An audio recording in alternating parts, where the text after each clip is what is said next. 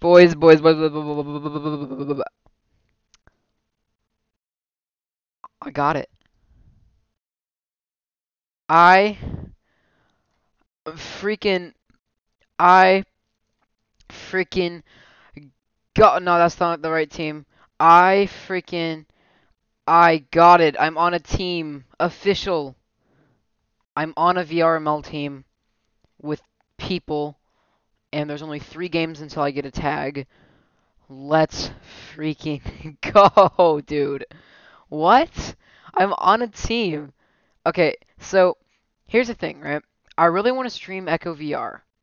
Um, but I can't do that because I have um what is it? What what's the issue here? Oh, first of all, um it's really it's a really toxic game. Uh, that's the first reason. And second reason is because it just doesn't run well when I'm trying to stream and doing it at the same time. First of all, FPS just goes really low, around like 30. And also, I don't want to have to listen to chat and try to listen to other people in game at the same time give callouts to me.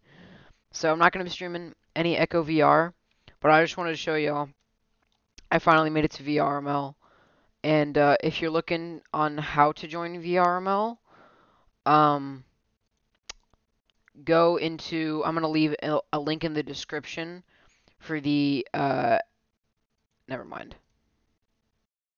Never mind that part. Never mind, never mind the link, but, because uh, I'm not allowed to share it. But for real, guys, I made it into VRML. This is insane. So, just wanted to tell you guys, because, man, this is like a big thing for me, so. You guys, it's really easy to join. You just have to be good at the game. And I just haven't been able to play in the past three days because my freaking neck has been killing me. And it's still hurting. So hopefully tomorrow or like over, hopefully over the weekend, I'll get in some practice with this new team. Because now we have a full team, six players. Wow. So, I mean, I'm just happy. So, see y'all later. Have a good day.